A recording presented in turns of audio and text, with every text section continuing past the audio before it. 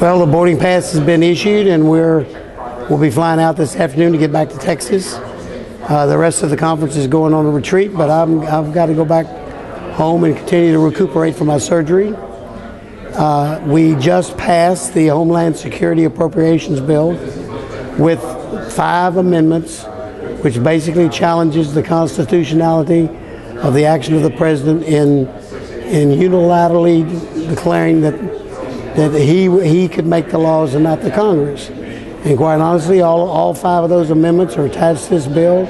I'm proud that my bill was chosen as the weapon to go forward in this constitutional fight. It's a good fight. It's a fight that, that needs to be done. And uh, I, I volunteered for it because it's the right thing to do. Uh, it, it, now it will pass. It has passed the House. It will now go to the Senate.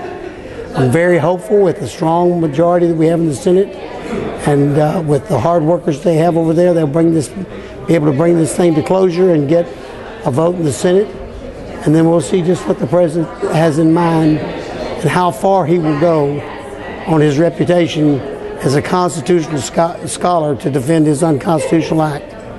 So this has been a, a, very important week to be here. I'm very proud of what has been done by the Republican conference and all the people who have gotten together, both with our committee and the Judiciary Committee, to to do what our Constitution sets out for us to do: use the power of the purse to challenge an unconstitutional act.